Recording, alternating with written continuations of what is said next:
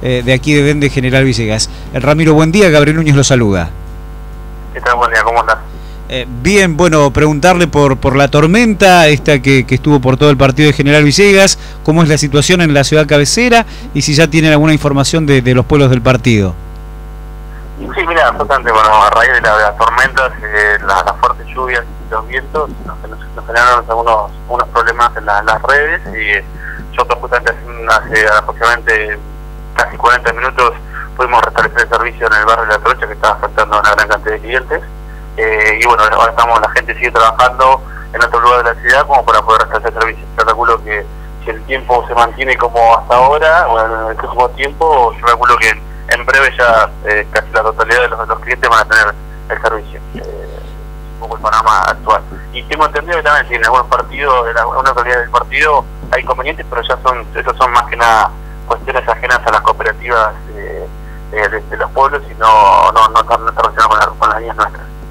Eh, ¿A partir de qué hora comenzó el, problema eh, eléctrico aproximadamente cuando los usuarios se quedaron sin luz?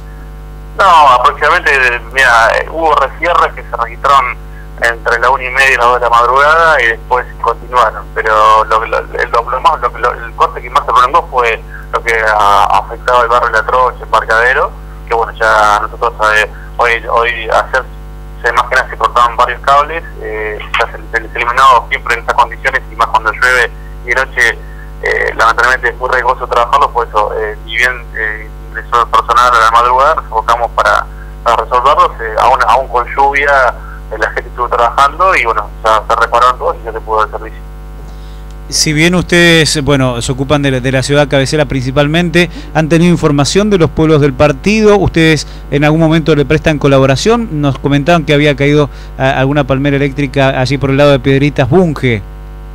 Sí, nosotros, si bien nosotros desde acá de Villegas proveemos el servicio eléctrico a Piedritas, eh, en este momento no, pero bueno, eh, en general nosotros proveemos el servicio de acá de, de, de Villegas, pero como son cooperativas, y en caso, sí, en caso siempre nosotros tratamos de ser colaborativos eh, para cuando necesiten tanto nosotros a ellos como ellos a nosotros. Así que en un principio hasta ahora nosotros no nos han informado nada, no, no nos han requerido nada puntualmente, pero sí sé que por Piedritas eh, el, fenómeno climático fue bastante fuerte, fue más intenso acá en, la zona de Villegas puntualmente. Pero por el momento nosotros no, no, hemos, no fue necesario ningún tipo de asistencia. Eh, Ramiro, bueno, le agradecemos la, la, comunicación. Hay problemas también en las líneas telefónicas, ¿no? Que, que algunos este, es una mañana complicada. Eh, el clima nos está tratando bastante mal. Bueno, le, agradecemos igualmente la comunicación. ¿eh? Listo, gracias a La palabra de eh, Ramiro Varela, jefe.